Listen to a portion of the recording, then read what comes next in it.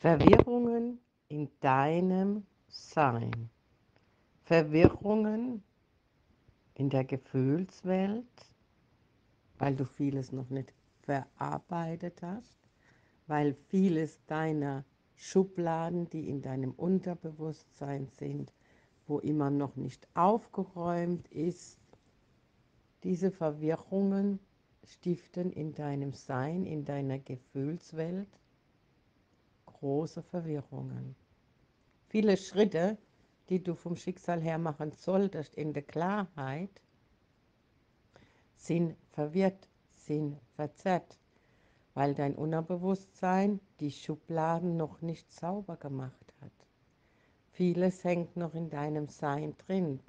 Und da wir jetzt in die nächste Sphäre reinkommen, die ganze Welt, ist es umso mehr wichtig, dass dein Sein gereinigt wird, dass deine Schublade gereinigt wird, dass Emotionen, die du übernommen hast, von deinen Vorfahren oder von anderen Leben oder vom Nachbar oder von der Freundin oder selbst vom Fernseher, dass das alles gereinigt wird, dass du klar, ganz klar deinen Weg gehen kannst. Und die Angst. Die Angst ist ja ein großes Thema.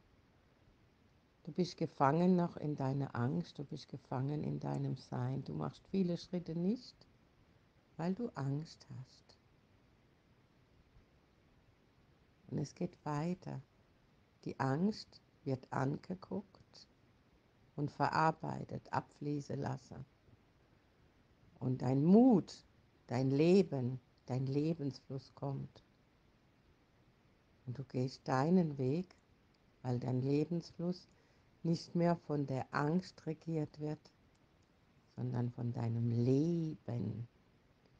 Also, wir aktivieren den Lebensfluss, indem dass wir vorher die Angst raus verarbeiten.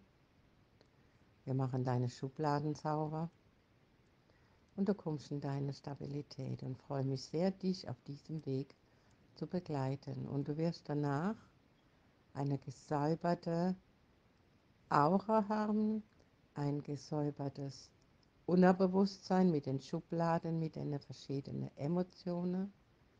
Dein Lebensfluss, der in deiner Wirbelsäule ist, ist stabil, klar, gereinigt und du bist vollständig.